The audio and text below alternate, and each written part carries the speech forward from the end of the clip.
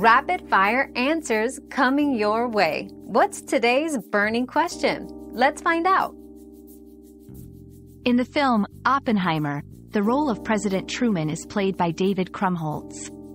This casting choice adds depth to the historical narrative, as Krumholtz is known for his ability to convey complex characters, promising a compelling portrayal of Truman during a pivotal era.